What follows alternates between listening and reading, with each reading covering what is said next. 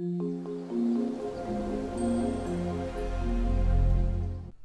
right, time for the really cool part, which is communicating with Firebase. Uh, it's actually we're almost there. The first thing is is that you do need, uh, since we're going to be sending stuff over the wire, uh, we need to give internet permissions to our app, right? And I could have done that by default, but I figure um, us doing it together sort of will will help us remember to do it in the future on our own apps. Okay. All right. So the way that we're to do that, we're to hit uses permission here and then name and sometimes it's smart enough to actually go to the internet one. Um, if not you just type in a couple characters and you'll get it. All right so we're, we, we've added our permissions there. Super super easy okay? Uh, to use Firebase you're to do this from your code. So the first thing you need to do is create a Firebase reference. I can put this wherever you like but I'm to do this in, in main activity up near the top here so I'm making a database reference and I get this using a, a stack method here get instance uh, get reference, right?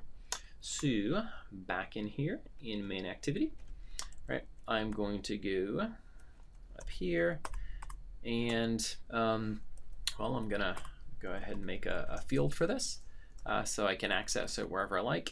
So this is a database reference. Uh, if you're not getting this auto-completing here, go back and check your uh, your Gradle file, right? That's that should work. Um, and I can call this mref or my database or, or my faves reference or whatever. Um, all right, cool. And then I need to initialize this. So mref is equal to uh, firebase database dot get. And if you type in get, you'll see get instance is one of the only things to do. And then we can do get reference, right. uh, like so. All right and you're you're wondering, well, you know, what is what does this do here? So this is basically linking it together with that Google Services JSON file, um, so that it knows where to go in Firebase, uh, where where to go online to get it. All right. So that's a reference really to the root of our um, to the root of, of things here. So it's it's a reference to this um, to this sort of Boutell favorite things. So I need to get within it into color um, and number. And the way that I'm going to do that is by, um, by sort of descending down this tree um, into one of the children of the root, uh, which is color. Right. So let's let's um, let's go ahead and do this.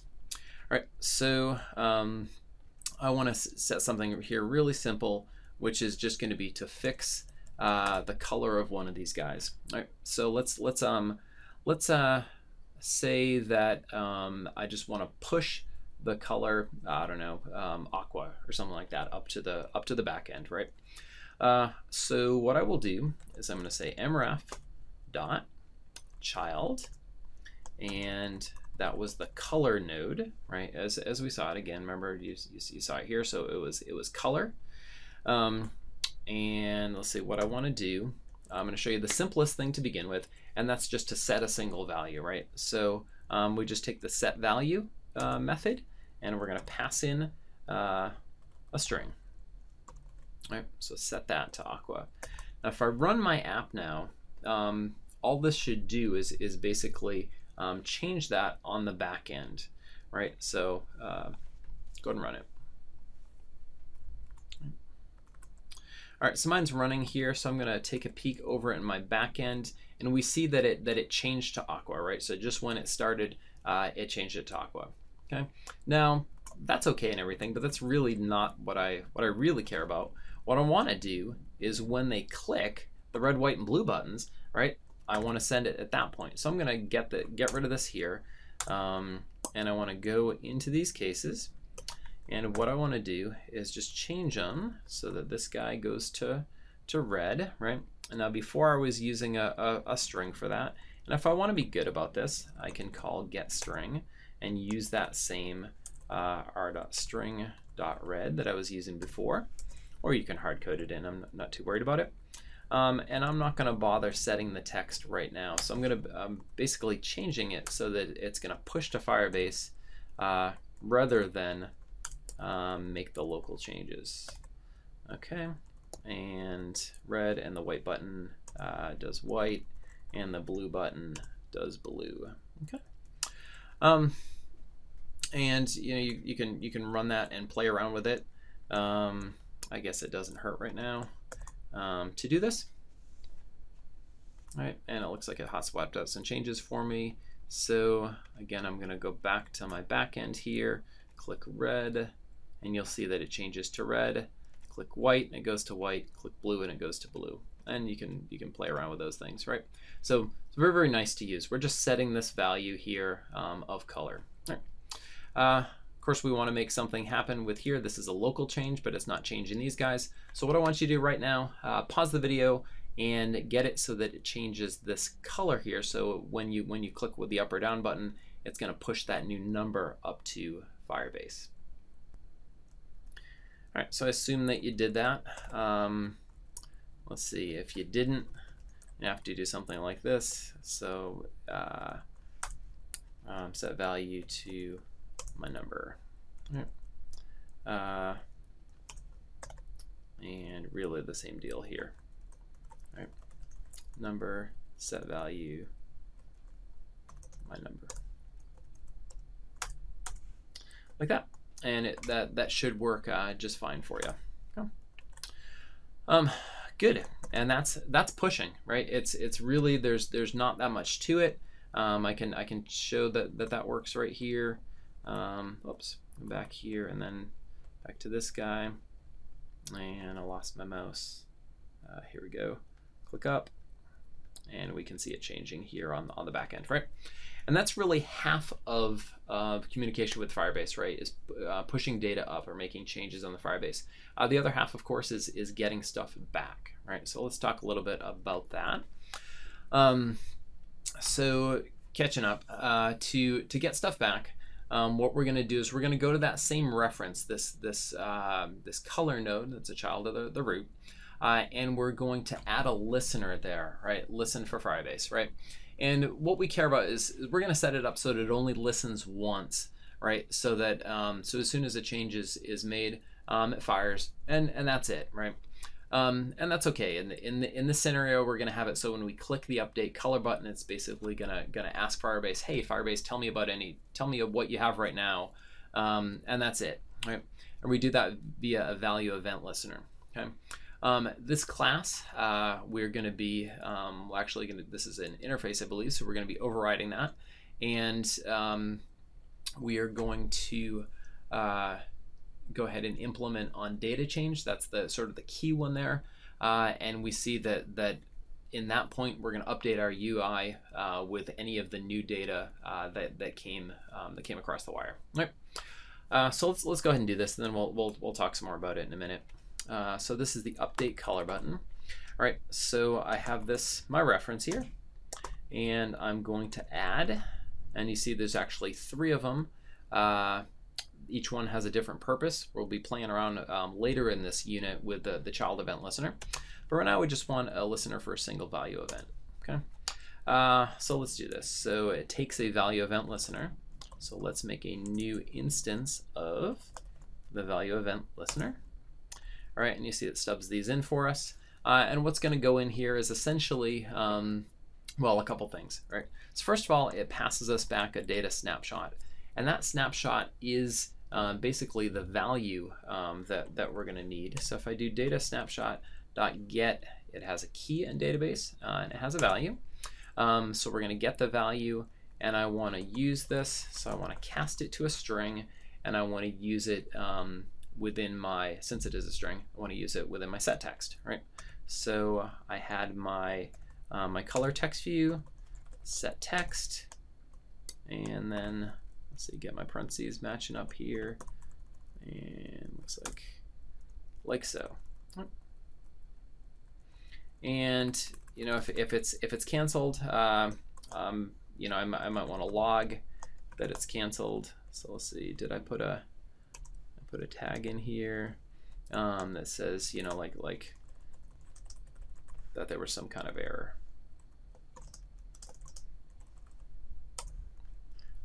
Like so. All right. I don't think I've, I've had an error that's been caught by this uh, yet. So I'm going back here and now what we want to do is when I click on this guy, so, you know, I'm changing them as before, so now I changed it to white, and then I want to click Update from Firebase. Um, it failed. All right, let's see what's going on here. All right, so I messed mess something up, no doubt. Uh, that's not a problem. So let's see. So saying right here that, that I, I, I cast things um, incorrectly and that, that what I was getting back was a, um, uh, so let's see, so, so my, my get value, yeah, I see what I did here. Um, so, yeah, uh, subtle, subtle issue. Um, my listener, so remember my, my reference was a root reference and I, I messed up here. I wanted to put the listener on the color child, right? Uh, what it was saying is is that um, it was giving me back a whole map, hash map rather than just a single um, a single value.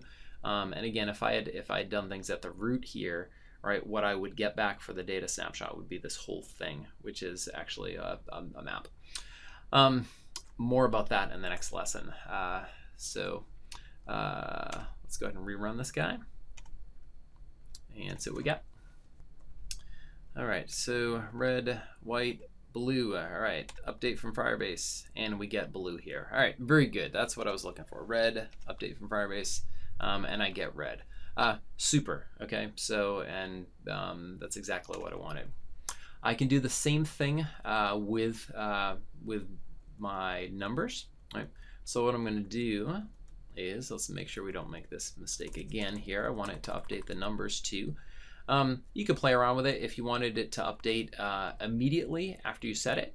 Uh, you could put your listeners within here, um, or you could even. Uh, what I'm going to do is is when it when it does the um, when I click the update button, I, I want it to to update again. So I'll see. Let's not make that same mistake again. So so child number, add listener for single value event, new value event listener and I'm sure you could be doing this, right? I mean, just you can kind of figure out what, what comes next here. Very similar.